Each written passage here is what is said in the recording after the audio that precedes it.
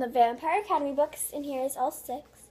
So let's get started. I have the movie cover, so these books might look a little different than the other two. The first three, I should say, are all soft cover, and these are older covers, if you couldn't tell.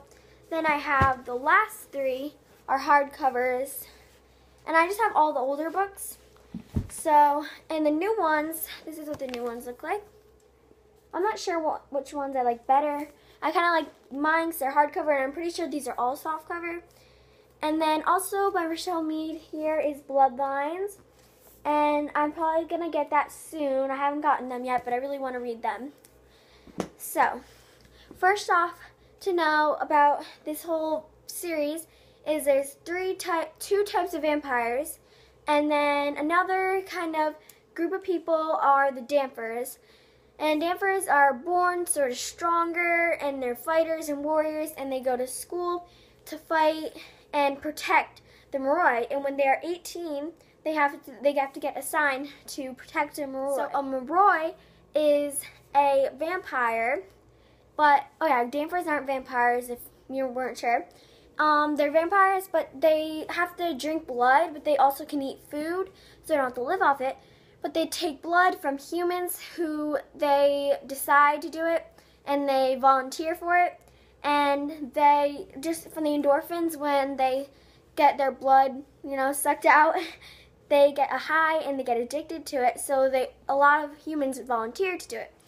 So the moroi they have to drink blood kind of daily to get more energy but they can still have to eat and they're good vampires. They're kind and nice, and they can they have elements, and some of them are fire, air, and water.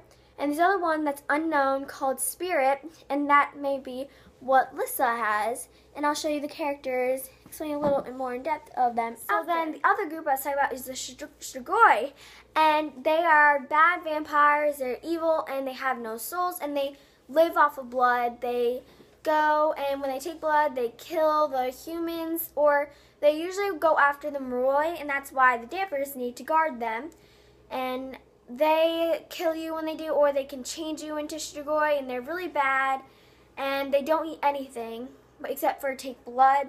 And they're really evil and they attack a lot, but then the Dhampirs, they don't go and hunt the Strigoi but they wait for them to come when they attack and then they attack back. I was really confused with all those three types of people and I was really confused but then when you go through the series you like it more and it makes more sense.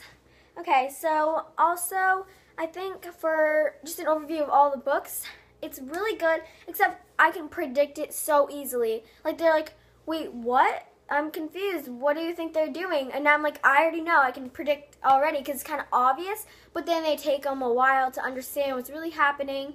And I already know what they're going to plan to do. And it's kind of a really obvious and predicting situations sometimes. But then some, especially in the last book called Last Sacrifice, I I was totally shocked at the end of this and there's to be no spoilers at all. I'm not to add them at the end or anything, so I'm not to say what it is. But I was so shocked because I predicted someone else who did what the thing is. So I'm not to say, of course. And so these books are really good. You need, you should totally get them. I love them. It took me a little long to read, but I love them, and you should read them too. And see the movie. And the movie's good, but the books are always better. So I hope you enjoyed this video. Please comment, like, and subscribe. Thanks for watching. Bye!